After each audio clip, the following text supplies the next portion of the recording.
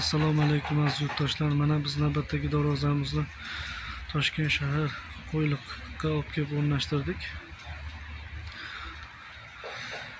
Bu darvozamizni sizlarga tushuntirib o'tadigan bo'lsak bu darvozamizni eni uch besh bo'yi ikki yuz sakson besh. Darvozamizni mana sizlarga holatlarini tushuntirib o'tadigan bo'lsak bu darvozamizni oltiga to'rt bir yetti stenkada ikkilik listda tayyorlab berdik. Qirg'oqlarga vibralarni qo'yib tanki gullarni o'rnashtirib berdik. Taglariga shviller o'rnashtirdik. Shvillerlar qo'yib mana holatlari darvozamizni holati. Mana zubur zamoklarni qo'yib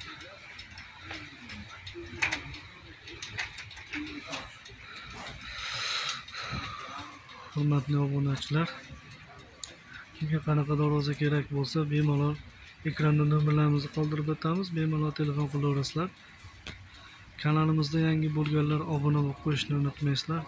Kanalimizni kuzatib boradiganlar laykni tirs tirs bosib tashlaymiz aka ukalar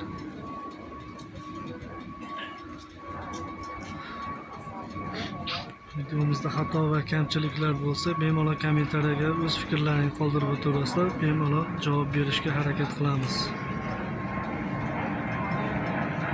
Sog' bo'linglar salomat bo'linglar